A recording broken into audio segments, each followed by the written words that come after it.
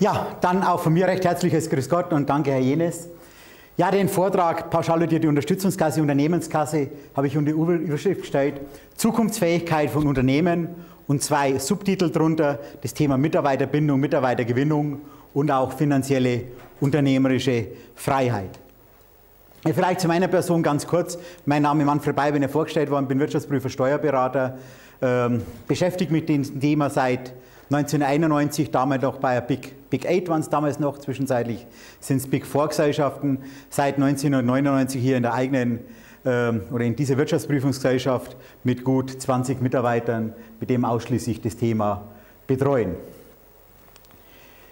Ja, ich habe gesagt, Zukunftsfähigkeit von Unternehmen. Zukunftsfähigkeit von Unternehmen sind für mich wirklich zwei Bereiche. Das ist einmal der Bereich Human Resources, also einmal der Bereich Mitarbeiter mit allen Ausprägungen, sei es Mitarbeiterbindung, Fachkräftegewinnung, die uns, ja, wenn ich mal rückblicke, im letzten oder den letzten zwei Jahren von ungefähr 60 bis 70 Prozent der Unternehmer, die das eingerichtet haben, als Hauptkriterium. Ich kenne die wenigsten persönlich und nur Teile persönlich. Wir verwalten hier über 1000 Unternehmen. Aber ich frage bei jedem nach, was war der Grund, warum das es gemacht haben. Und das wird mir immer im Prinzip immer das Thema, meistens genannt Mitarbeiterbindung, Fachkräftegewinnung. Da gehört alles dazu, Image, CSR und die ganzen neudeutschen Themen und Anglizismen. Das zweite wichtige Thema ist das Thema finanzielle unternehmerische Freiheit. Vielleicht ein Thema, das noch weitgehend unterschätzt wird vom deutschen Mittelstand oder wo manche Dinge vielleicht noch leichter sind, als sie eigentlich schon leicht sein dürften oder sie werden jedenfalls weitgehend unterschätzt. Und da geht es für mich um das Thema Liquidität. Für mich noch viel wichtiger, fast an erster Stelle, ist das Thema Liquiditätsreserve. Ich stehe die Liquiditätsreserve bei Main noch ähm, über die Liquidität als solches, weil ich sage, was, was wir machen, das ist, wenn ich sage, so einen mehrstufigen Aufbau. Für mich ist Factoring das schnelle, das kurzfristige Geld, Leasing ist irgendwann mittel, mittelfristige Finanzierung und wir machen hier was ganz was Langes, ähm, ganz langfristige Bodensatzfinanzierung und darum auch das Thema Liquiditätsreserven, Bankenunabhängigkeit, auch alternative Mittelherkunft, vermiedener Mittelabfluss, das heißt Steuersparen, solche Themen. Ja, und warum sind die strategischen Ziele aus meiner Sicht so wichtig? Ganz einfach, weil wir in einem Geflecht leben von entsprechenden Rahmenbedingungen. Die Rahmenbedingungen sind bankenseitig, für mich zumindest das, was ich erlebe und berichte kriege, restriktive Kreditpolitik. Ähm, zurzeit fließen natürlich Kredite wieder leichter. Ich glaube, die kommen auch wieder ganz andere Zeiten. Ich habe auch in verschiedene Institute schon gewarnt vor Kreditklemmen vor schwierigen und stürmigen Zeiten auf dem Kreditmarkt.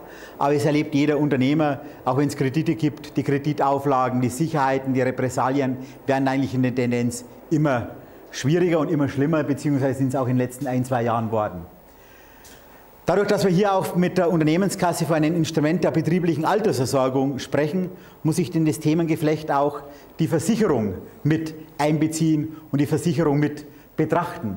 Und Versicherungs, Versicherung, Lebensversicherung, wie so üblicherweise eingesetzt werden, die haben halt das Thema intransparente, schlechte Leistungen. Da können wir auch wieder viel zitieren. Im letzten Jahr Ökotest, interessante Studie, die von den meisten Versicherungen negative Renditen bis teilweise nur leicht positive Renditen berechnet haben.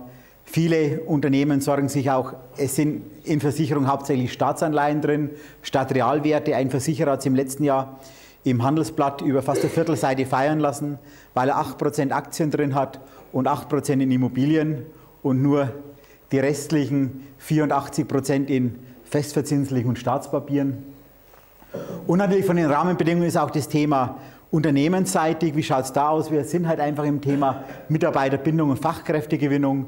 Und ich erlebe das von den Gesprächen aus allen Branchen. Es sind nicht bloß ITler, Ingenieure und solche Leute, sondern es geht ähm, bis in die Reinigungsbranche haben so Unternehmer schon gesagt, ich gesagt, Mensch, ich habe einen Basissatz von 20 Prozent Mitarbeiter, das sind meine Leistungsträger, die muss ich einfach halten.